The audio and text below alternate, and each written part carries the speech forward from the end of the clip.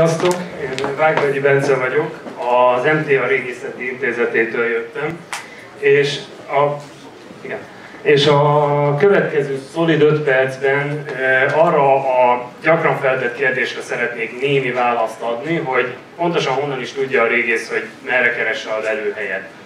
Ugye ez a kérdés, ez nagyjából a régészettudományjal egyidős, Viszont míg az első régészeknek olyan rengeteg eszköz nem volt a kezében arra, hogy a felszínen is viszonylag jól látható lelőhelyek, illetve a véletlenül előkerült leleteken túl mást is keressenek, már a technológiai fejlődés, illetve az újabb és újabb módszereknek köszönhetően egészen rejtőzködő lelőhelyekről is rengeteg információt ki tudunk sajtolni. Ennek egy nagyon jó példája a terepbejárás módszerének a változása. Ez egyrészt az egyik legrégebbi módszer lelőhelyeknek a feltérképezésére, viszont máig gyakorlatilag a legfontosabb. Az alapját azt képzi, hogy a szántás során a földből kifordulnak a leletek a lelőhelyeken, és ezeket szisztematikusan felszedve eh, fel lehet térképezni a lelőhelyüket. Viszont pontos helymeghatározás nélkül a korai terepbejárások eredménye maximum az eh, lehetett, hogy megközelítőleg ilyen furcsa eh, krumpli alakú poligonokat rajzoltak fel térképekre. Viszont ma már a GPS-eknek a használatával nem csak, hogy azt tudjuk megmondani, hogy pontosan merre jártunk egy adott napon, de azt is, hogy pontosan hol kerültek elő a leletek, a feldolgozás után pedig azt is, hogy az egyes korszakok a lelőhelyen belül e, hol helyezkednek el. Viszont felvetődik a kérdés, hogy mi van az olyan jelenségekkel, vagy akár egész lelőhelyekkel, amikhez minimális mennyiségű leletanyag köthető. Ilyenek például az árkok, az utak, esetleg egy kőfal, amiből a szántás nem forgat ki eh, leleteket, viszont hatást gyakorolnak a környezetükre. Például megváltozik a talaj szerkezete, ahol ezek vannak, és ettől megváltozik az, ahogy eh, a gabona nő, vagy a talajvíz tartási képessége is megváltozik a talajnak, és ezt a levegőből fotózva kirajzolja ezeket a jelenségeket, szerencsés esetben akár egy római villának a, az alaprajzát e, is. Amióta pedig a drónok elterjedtek az elmúlt pár évben, az ilyen jelenségeket egyre olcsóbban és egyre hatékonyabban lehet feltérképezni. Viszont a drónok nem csak itt e, kapnak szerepet, hanem a 3D fotogrammetriának köszönhetően, amiről már korábbi meetupon egyszer e, beszéltem, a lelőhelyeknek a domborzati környezete is jól feltérképezhető, egy 3D felszínmodell hozható létre a e, lelőhelyről, illetve olyan jelenségek is feltérképezhetőek, amiknek bizonyos fokú felszíni e, nyoma megvan, például egy ároknak a Joxovia hublia, vagy egy e, sáncnak a maradéka.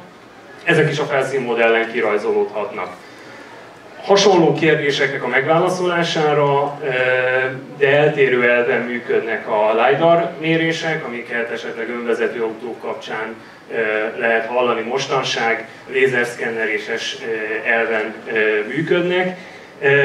Viszont ezek köszönhetően annak, hogy a jelek áthatolnak a lombkoronán is, olyan erdős területeken, mint például itt a lentebb látható képen, olyan erdős területeken is lehetővé tesznek felméréseket, ahol más fajta felmérés nem lehetne végrehajtani.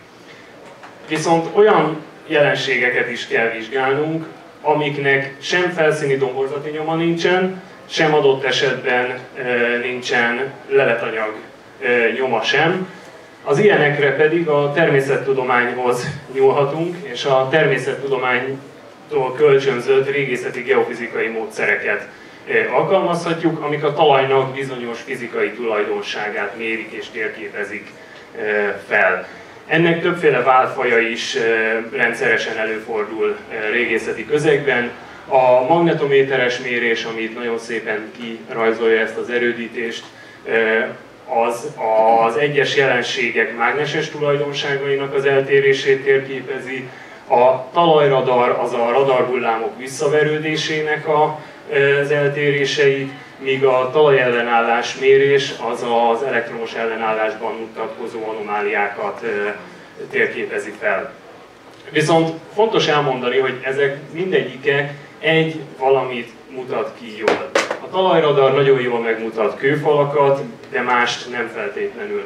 A magnetométer megint másmilyen jelenségeket mutat meg jól, és ugyanez igaz az összes többi, amit itt említettem módszerre, hogy egyik sem egy ilyen varázspálca-szerű rámutatok és belátok a föld alá e, jellegű módszer, hanem mindegyik annak a nagy egész képnek, nagy egész puzzle-nek egy-egy darabját adja ki, amit effektíve úgy hívunk, hogy eh, régészeti lelőhely, és ezeket együtt kombinációban kell alkalmazni ahhoz, hogy ezt a puzzle szép lassan eh, össze tudjuk pakolgatni, méghozzá a térinformatika eh, segítségével, ami egy rendszerbe hozza ezeket az adatokat. Viszont egyáltalán nem véges a, ezeknek a puzzle daraboknak a száma, folyamatosan bővül ezeknek a köre, rengeteg olyan olyan új és új módszer jelenik meg évről évre, amik, eh, amik eh, megint csak egy-egy újabb eh, szegmens adhatnak ehhez hozzá. Például ilyen lehet a precíziós mezőgazdaságból származó adatoknak a kiértékelései, például a hozamoknak a változása gyönyörűen kirajzolja a körárkot, vagy a multispektrális műhold felvételek, egyáltalán a műhold felvételeknek az alkalmazása, illetve a LiDAR szenzorok is, amiket korábban csak repülőgéppel lehetett hurcolászni, azok is egyre kisebbek és lassan már drónokra is szerelhetőek, és biztos vagyok benne, hogy rengeteg olyan van, amit még én se ismerek, se, még nem is nagyon használják régészeti körben, úgyhogy zárszóként szeretném megjegyezni, hogy mi is folyamatosan keresünk új és új módszereket, és hogyha valakinek van valami olyan ötlete, amit itt nem említettem, vagy ami esetleg eh, ilyenre használható lenne, akkor sorok mellett nagyon szívesen beszélek róla. Köszönöm szépen!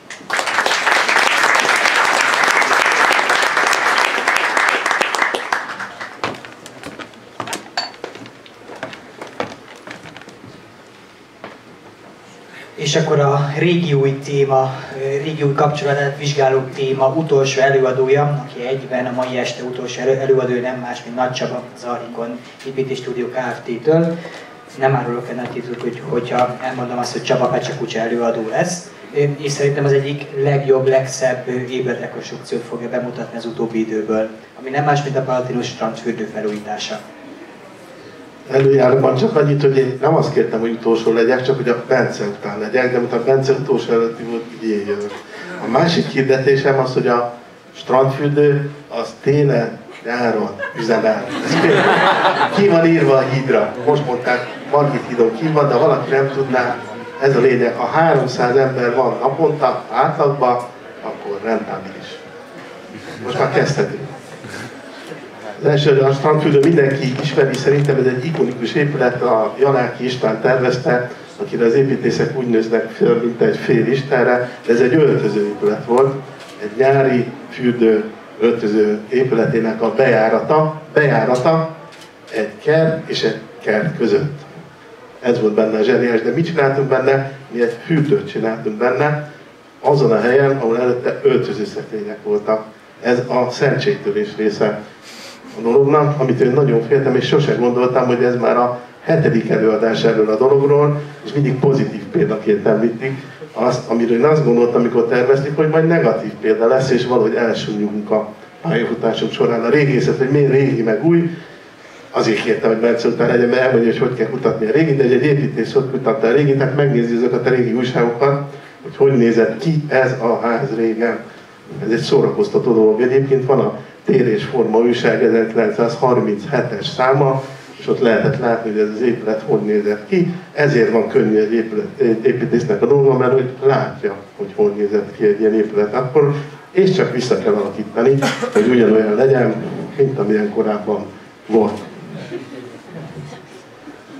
Nem kell hozzá különböző tudományos kutatás, csak meg kell figyelni, hogy ez a hátsó része egy ilyen lendületes följárót lehet látni, jobbra pedig a strandon lévő emberek élvezik a napfürdőzést. Az épület az egy modern épület volt a saját, saját korában, a többi épület 37-ben, mikor jött, az magas tetős volt. Itt még egy képet gyorsan beraktam, ami nem abból az újságból van, hanem volt egy ilyen színésnő sorozat is, és meg az építészek azt szeretik nézni, hogy milyen szép az a korlát, vagy milyen szép az a lépcső. Tehát ez is különös figyelmet kell figyelni, nem a színésznőket kell nézni egy ilyen képen, hanem magát a házat. De ez az a pont, hogy milyen volt az a ház, amikor hozzájutottunk, hát ilyen hasonlít ez arra, ami az előző ház volt, tehát valamennyiben hasonlít, csak éppen sárga, meg a, volt rajta még egy szín, de ez az a pillanat, amikor a műemlék egy ilyen házat levéd, hogy ez műemlék. Ugyan semmi nem olyan, mint ami előtte volt, de ez egy műemlék. Itt látszik, hogy semmi nem olyan, az az eredeti kép, ami az újságból volt, ez a mostani. De tényleg van ajtó, de nem ugyanolyan ajtó, vagy vasajtó és zöld. A másik az pedig ugye ablakos ajtó. A padló ugye ez kék-fehér csempék, a másik meg fekete-fehér csempe még avatott szemlélők mást is észrevesznek benne, de ugye azt vitték nem emléknek. De milyen nehéz egy építésznek a dolga, hogy 52-en terveztük ezt a házat, ebben benne vannak a szakrestaurátorok is, de benne vannak a gépészek mindenki, és 604 napig tartott. Tehát ezt el lehet képzelni, hogy 604 napon, és nem tudom elosztani, az, az több is egy év, csak ezt terveztük, és mi az, az eredmény, ez a lebegés érzése, ez a kedvenc fotóm rajta, hogy mi a lebegés, az egy olyan virtuális valóság, csak segítek a meetupos oldalnak is, amikor lebegés, virtuális valóság gép nélkül. Tehát hogy a cél az az, hogy valaki befekszik a vízbe, és valami olyan gondoljon, amit mondjuk rajtlászlóra és lehetne utalni vissza, hogy behúnyom a szememet, és akkor érzem a víznek a melegségét, az indatát, esetleg az akusztikát, tehát hogy az a pillanat, amikor nem tudom, hogy hol vagyok. Hogy ez mit kell akkor átkutatni egy házon, hogy hogy nézett ki korábban, az egy kérdés, vagy a lényege szerintem a tervezésnek az inkább ez, hogy létrejön ez az állapot, hogyha valaki bemegy ebbe az épületbe, vagy pedig nem. Azért én nem én vagyok rajta, mert máskor csak hogy kevesebb kérdés legyen. Végén nem én vagyok, mert múltkor, amikor eladtuk, az láttam ezt, akkor megkérdezték, hogy én vagyok, de ennél, ezt sértőnek éreztem ezt a kérdést akkor az érzés az, azt, azt ismerem, hogy milyen. Másik, hogy miért nehéz ez a tervezés, ugye, hogy az az épület maga, vagy hogy mi volt ebben az építészeti trüváj vagy koncepció, tehát egy funkcionista ház volt. Ami azt jelenti, hogy van egy pilléraszter az egész épületre, ahol akkor is úgy gondolták, hogy bármit berakhatok ebbe az épületbe, a raster marad, és kicserélhetem benne az épületet.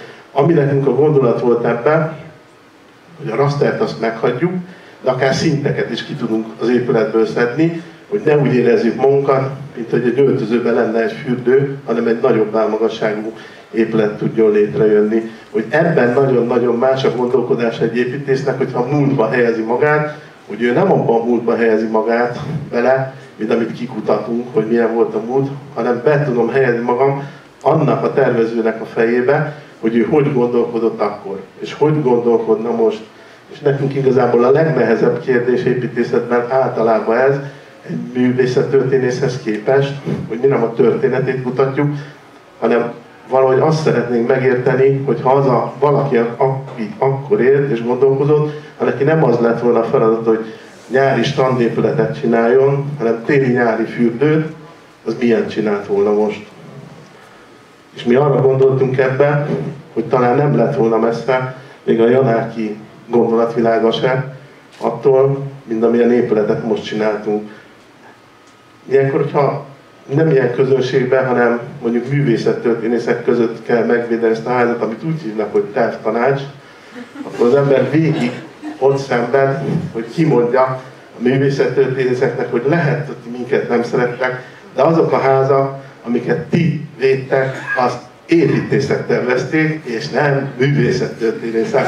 Ezt ott nem mertem elmondani, de itt, itt most ők nem jöttek el, úgyhogy lehet, hogy rajta van a neten, és akkor már fogják látni. A, a végső képsorok csak azok, hogy ez ugyanolyan épület kívülről, mint amit a Janáki tervezett, csak mögötte nem öltözők vannak, hanem egy téli, nyári üzemű strandfürdő, ahova be lehet menni, hogy meglegyen az a napi 300 fő. Köszönöm.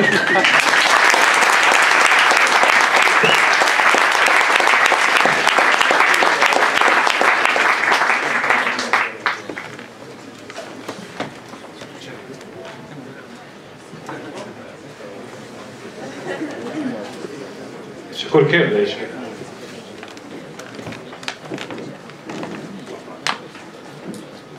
Hány főnél tartunk naponta? Kell -e menni holnap?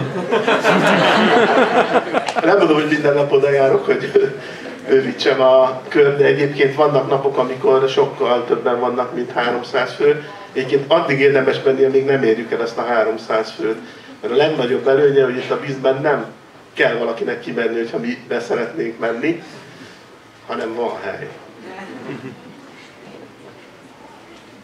Nekem Bencéhez van kérdésem. Melyik az a robbantós dolog, amit mind, mindig lehet látni a régészek, hogy így fölrobbantanak dolgokat, és akkor utána meg így lehet látni, hogy mi van a föld alatt. Ezt te hol szoktad látni? Spektrumon. History Channel. Én személy nem tudok robbantós módszerről, amihez robbantani kellene, de akkor beszéljük meg sorok mellett, és lehet, hogy ez alkalmazható lenne. Maximum valami szeizmikus mérésre tudnék gondolni, hogy, hogy azzal lehetne valamit mérni, de én még ilyen módszerről nem hallottam. Tehát a Jurassic Parkban így a, keresték a csontokat, nem? Az lehet, de az paleontológia. Lehet, hogy kövületeket így kell keresni, hogy eljuss arra a mélységre, vagy, a, vagy azt feltárt, de sajnos régészként az nem a szakterületem. Dinokkal nem foglalkozunk.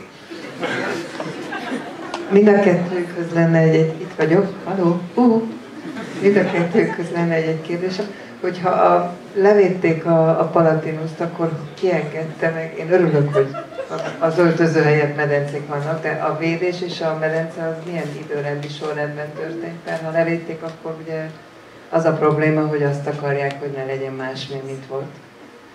A, nem biztos, hogy feltétlenül. De egyébként egy ilyen levédés az úgy néz ki, csak hogy néztem, hogy honnan jön a hang. Tehát rám nagy hatásom Hát volt mostani előadás, hát Rak László elmondta, hogy a hangot figyeljük, az innen jön, meg onnan jön. A kép meg onnan. Csak azért nézünk ilyen furcsán itt a színpadról, de hogy a kérdésre is válaszoljak. Úgy néz ki egy értékleltár egy ilyen háznál, hogy minden helységen vég benne. Hogy mi az érték? Ugye hát tényleg még vannak a 140 helység volt benne. 140 helységet mindig leírták, hogy benne lévő, nem tudom, padló, az ekkor készült nem érték. Fal, ekkor készült nem érték. Már a, a fal burkolatban. Mi az érték? Hát a vakolat mögött lévő fal az az érték. És így végigmegy az egészen. Ennek a legszebb példája az, amikor mi az érték? Hát egy pillér. Tehát Janáki az 40x40-es pillér tervezett az épületre, ami bauxit betonból volt, amit még szerintem még a másik oldal kollégái is tudják, hogy a bauxit beton az vizet kap, vagy jó, ha tudják, hogy házban laknak, akkor az, akkor az egyébként tönkre megy. Azt meg én tudom, ha nem kap vizet, akkor nem megy tönkre. Vizet azt általában kap, hogyha valaki csőtörés vagy a ház ázik. Tehát ez a ház, az épület az olyan volt, hogy vagy föntről kapott vizet, ha esett az eső, vagy valamelyik csőtörés volt a középső szinten, vagy alulról a Margit szigeten kapta a vizet, és bauxit volt. Mit csináltak rá művelem szempontból, hogy körül köpenjem ezt a pillét, hogy megálljon, és megőrzöm azt a bauxit beton pillét, a 40x40-es, körbe rakom egy vadbetonnal, és a szegény pillér az ilyen jó nagy darab lesz tőle, és akkor boldogak, a műemlékvédők, hogy megvédtük azt a pillért, mert hogy nem az értéklátában az a pillér. Hát szegény Janák szerintem nem lenne boldog, mert 40x40-es vékony pilléreket csinál. Ezért mi azt gondoltuk, hogy inkább cseréljük már ki ezt a pillért, tehát, hogy azért nem fizikailag azt a tönkrement pillért védjük, hanem a Janákinak a gondolatát, ami az volt, hogy 40x40-es ilyen vékony pillér legyen belőle. Úgyhogy mi azt gondoltuk ebbe, hogy amit védeni kell, az a kotta. Tehát a tervtanácson is próbáltam ezt így eljátszani, így zenével, hogy ezt eljátszottam egy, nem én, így fölnőttem zenével a Bachnak a Goldberg variációt, és akkor kérdeztem, hogy de az milyen zene. Hát és ugye, hát hogy fantasztikusan állították, hogy barokk zene, de hát kérdeztem, hogy biztos. Tehát ezt most játszották zongorán, nem most mondjuk 30 éve, hogy zongorán, hát ezt nem zongorára írták akkoriban, mert nem volt zongora, de hogy most játszották, hogy mi az azonos benne, hát a kotta. És ezt próbáltam az üzenetet átvinni, hogy itt is a kotta ugyanaz. Tehát, hogy én, mint előadó, a Janákinak, megpróbálom megérteni, hogy ő hogy gondolkozott benne, hogy mi volt az a kotta, és azt a kottát valahogy lejátszani mai gondolattal. Ennyi. Ehhez gratulálok, mert egyáltalán nem mindenkinek sikerül az ilyesmi. A régészet kapcsán azt szeretném kérdezni, hogy jól értettem a nevét. Ha Vágvölgyinek értette, akkor igen. Jó. És Bence. Igen. Az, egy időben volt egy ilyen, mostanában is vannak ilyen problémák, hogy hirtelen találnak valamit Magyarországon. A Földben, autópálya. Igen. izé. És akkor úgy gondolják, hogy hát jé, hát ez itt van, hát hogy, hogy itt van. És nincs készen Magyarország régészeti kataszterre, amennyire én értesülve vagyok. Nincs. És azt szeretném tudni, hogy ez a GPS ez most felgyorsítja ezt a folyamatot esetleg. Akarja a Magyar Tudományos Akadémia Régészeti Intézet, hogy ez így legyen, akarja a Magyar Állam, hogy ez így legyen, és akkor nem fogunk olyan rettenetes dolgokba ütközni, mint az a bizonyos templom, ami alatt találtak valamit, és visszatemették. Köszönöm szépen. Ez így igaz, hogy eh, Magyarország régészeti topográfiája, amit még a 60-as években elkezdett eh, az akadémia, az soha nem fejeződött be. Egy bizonyos ponton eh, félbeszakadt, azóta sajnos finanszírozás sincsen rá feltétlenül, erre nagyon sok ember kéne, akik terepet járnak, akik kimennek, anyagot feldolgoznak. Erre, erre komoly pénzeket kellene áldozni, és ez nem tudom, jelenleg per pillanat projekt alapon nincs meg ennek a forrása. Ez azért továbbra is egy hatalmas nagy munka lenne. Ugye ezzel a terepbejárási módszerrel, amivel mi is járunk, ezzel körülbelül egy nap öt emberrel 100 hektárt le lehet járni. De ha erre azt akarnánk mondani, hogy egész megyéket lejárjunk, akkor az hónapok és évek terebejárási munkája lenne. 52 ember és 604 nap. De nincs annyi pénz a világon, hogy ennyi régészt ráeresztenek erre, a, erre az egy projektre jelen pillanatban sajnos. Mi reménykedünk benne, hogy egyszer majd lesz, és egyszer, egyszer ez, a, ez folytatódhat. De valahol az is benne van a dologban, hogy, hogy, hogy azt, amit annó a 60-as, 70-es években megcsináltak, azt nagy valószínűséggel ma azért kéne e, frissíteni új módszerekkel. Ugye az, azok még azzal a módszerrel e, lettek lejárva, amit mutattam az elején, hogy, hogy felszették a cserepeket szisztematikusan, és utána amennyire tudták térképen, berajzolták, hogy nagyjából hol találták őket. Azért ennél ma már lehetne pontosabbá tenni, de sajnos ugye semmi nem százszázalékos, geofizikai méréseket rendszeresen végeznek, hál' Istennek azért az örökségvédelem az tartott, hogy rendszeresen rendszeresen egy, ha valamilyen beruházás van, akkor azt megelőzően kell valamilyen felmérést előtte végezni, hogy nem veszélyeztete az a, az a beruházás lelőhelyeket, de sajnos mindig csúsznak át dolgok a réseken, amit nem, ez, ezek a módszerek sem százszerzalékosak sajnos. Majd egyszer talán robbantásos az lett, akkor én szeretném feltenni azt a rendkívül gonosz kérdést, hogy esetleg ma este utolsó nyilvános kérdését valaki szeretné feltenni.